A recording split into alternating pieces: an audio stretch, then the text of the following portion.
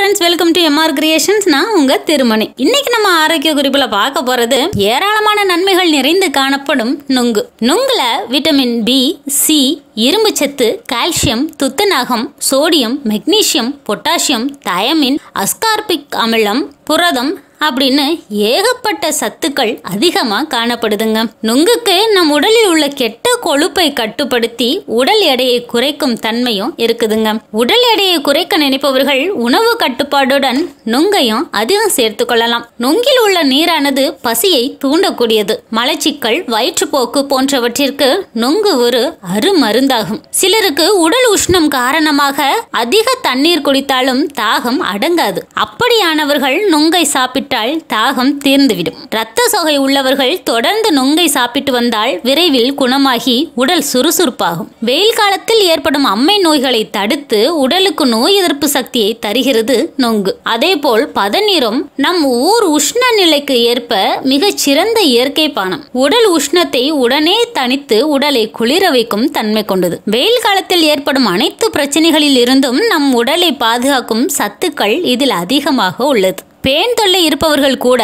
பதநீரை தலையில் தேய்த்து குளிக்கலாங்க. நுங்கை இளநீருடன் ஜூஸ் போல அருந்தலாம். சருமமும் உடலும் பொலி பொழிப்படையும் பதநீரில் இருந்து தயாரிக்கப்படும் கருப்பட்டியுடன் சுக்கு சேர்த்து சாப்பிட்டால் நன்றாக பசி எடுக்கும். சுக்கு மிளகு கருப்பட்டி சேர்த்து குழந்தை பெற்ற பெண்கள் சாப்பிட்டால் தாய்ப்பால் நன்கு சுரக்கும். குழந்தைக்கும் நல்ல ஊட்டச்சத்து கிடைக்கும். நுங்கை மசித்து வியர்க்குறு கட்டிகள் இருக்கும் இடத்தில் பூசினால் விரைவில் வியர்க்குறு சரியாகிவிடும். நுங்கை அரைத்து தேங்காய் பால் சேர்த்து குடித்தால் அல்சர் வயிற்றுப்புண் பிரச்சனைகள் தீர்ந்துவிடும். இப்படி ஏராளமான நன்மைகள் இந்த நுங்குல இருக்குதுங்க. இன்றைய காலகட்டத்தில் அழிந்து வரும் பனைமரங்களை காப்பாற்ற பனைமரம் மூலம் நமக்கு ஏற்படும் பயன்கள் பற்றியும் நொங்கு போன்றவற்றின் ஏராளமான நன்மைகளை பற்றி பற்றியும் நாம் தெரிந்து கொண்டது போல உங்கள் நண்பர்களுக்கும் தெரிவியுங்கள். பனைமரம் அழிவதை தயவு செய்து உங்களால் முடிந்த அளவு காப்பாற்றுங்கள். நன்றி ஃப்ரெண்ட்ஸ்